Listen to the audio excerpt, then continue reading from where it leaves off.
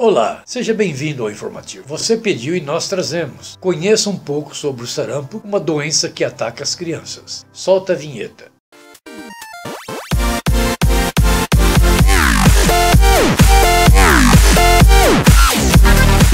O sarampo é uma doença que costuma acontecer durante a infância. O vírus atinge o organismo do indivíduo e causa sérias manifestações que são capazes de afetar os principais mecanismos de defesa do corpo humano. Graças ao nosso bom Deus, já existe uma vacina para evitar a contaminação. A vacina contra o sarampo é eficaz na prevenção da doença. Atualmente, cerca de 85% das crianças em todo o mundo são vacinadas. O sarampo, na verdade, é causado por um vírus chamado morbilivírus. Os principais sintomas do sarampo são febre alta, tosses frequentes, conjuntivite e manchas avermelhadas espalhadas pelo corpo. Algumas lesões também na boca. O problema é muito associado à desnutrição, podendo ser um fator grave para a nossa condição de saúde, caso não tomemos a vacina a tempo. Saiba que o sarampo afeta atualmente cerca de 20 milhões de pessoas. A maioria das vítimas são nas regiões da África,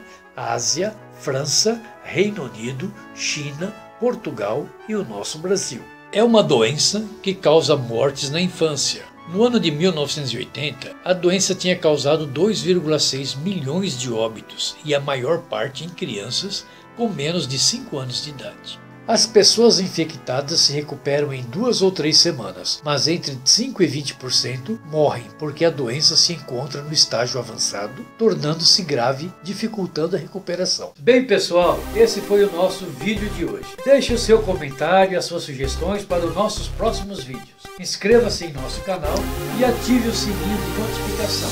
Dê o seu like. Abraço a todos.